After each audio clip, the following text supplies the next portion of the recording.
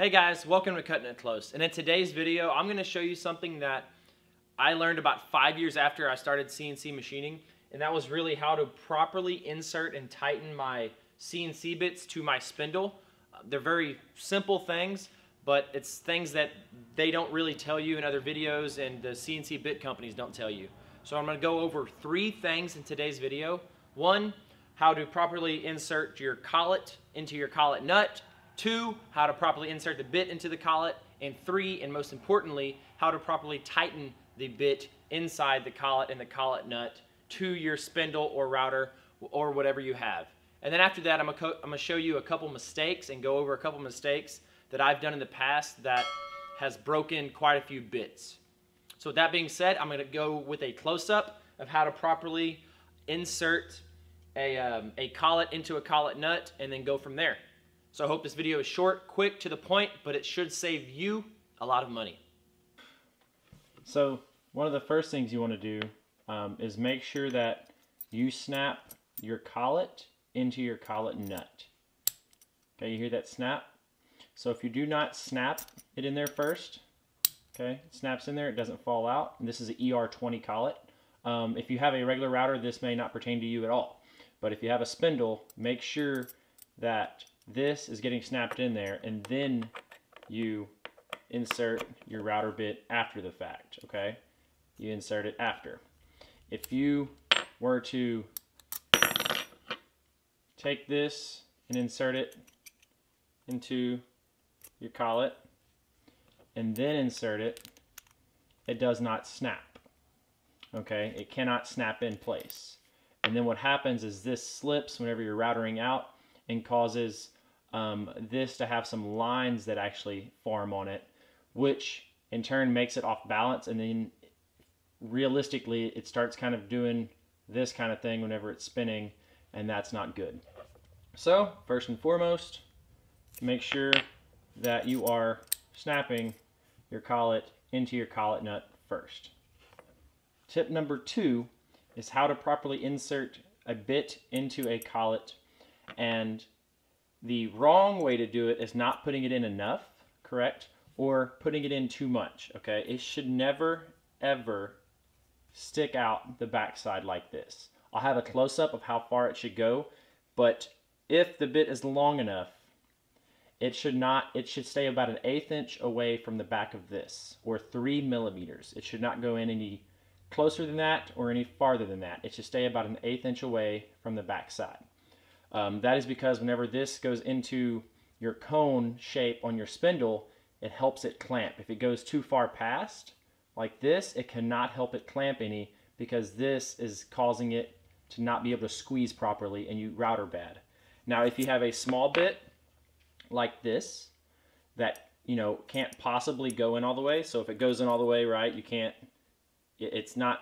That's okay. There's usually typically markings on these bits, and you just put it in, you know, whatever you feel comfortable with, and then it's okay. I think this bit it's stopping about right here right now, and that's okay.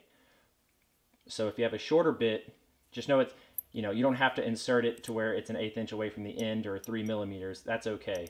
Just insert it with what you feel comfortable with on the bit and the clamping should work fine.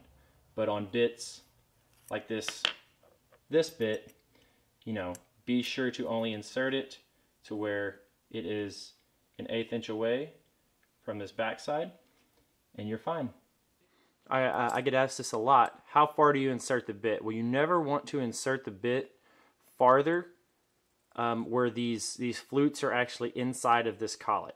Okay, see how this flute is inside the collet? That's very bad. You want to insert it to about a 16th of an inch or just one and a half millimeters outside where this blade is not inside of this collet. That is a proper way to do it. Um, if it's inside of it, the bit's going to break. Obviously, it's going to stick out the back, like I said earlier. I'm going to be sure.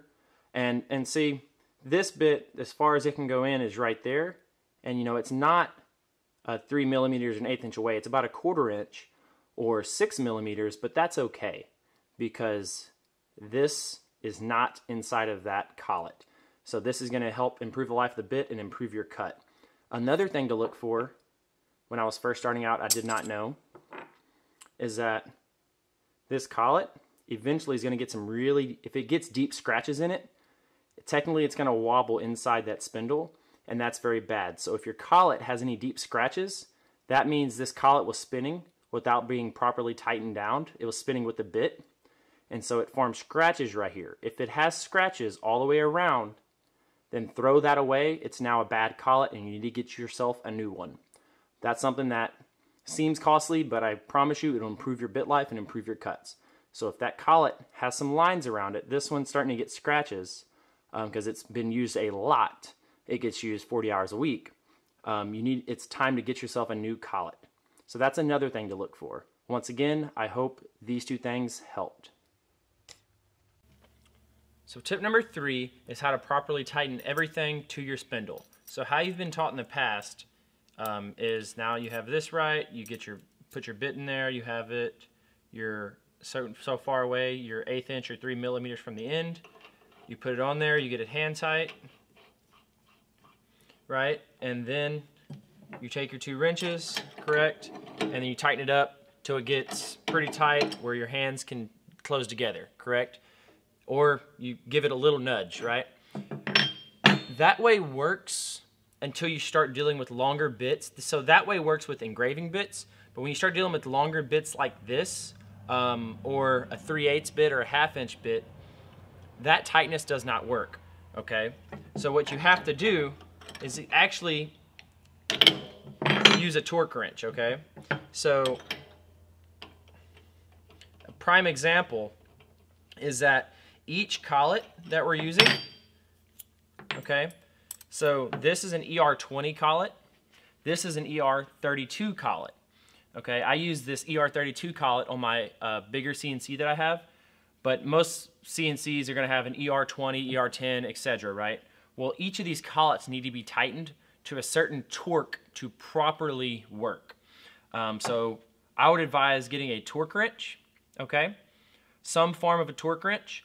Um, an ER20 collet needs to be at 50 pound feet uh, for our standard guys, and I think that's 70 newtons per meter um, for my metric guys out there. This ER32 collet needs to be tightened to I think 100 pound feet and let me look what that is on newtons per meter. So that is about 135 newtons per meter that these bits need to be properly tightened at. So what I do is I will once again properly snap it in there first Make sure this is all the way in. Tighten it up. Okay. And then set your wrench, and this is my torque wrench for my other CNC, but set your wrench, get it, and tighten it till the torque wrench clicks. And that is actually how you properly set a bit in here. You'll notice a huge difference in um, all your cutting, um, in your bit life, etc. when you tighten something in there properly. It will seem like you're overly tightening it, but I promise you, you're not. It, it, there's going to be a big difference. Um, now, each, like I said, each collet, either ER32, ER20, ER40, ER50, ER10, they're going to have different pound feet requirements or newtons per meter requirements. Um, I'm going to show a little chart on that um, just as a picture so you can see. But that's something that I've never been told and that has helped my spindle out tremendously. So I hope I hope tips one, two, and three helped you a lot and will improve this bit's life and this baby's life. Thanks for watching. So guys, I hope those three things helped you out a lot. They're very simple, they're not hard to do, but they are going to save you a lot of time and money because your cuts are going to start to look better and I promise you there's going to be immediate results you'll see or, or you'll hear on your CNC. So I hope you left this video with more knowledge of what you started it with. And if you need anything else from me, please leave that in the comments in the comment section below. Give this video a like and don't forget to subscribe. Thank you so much and have a great day.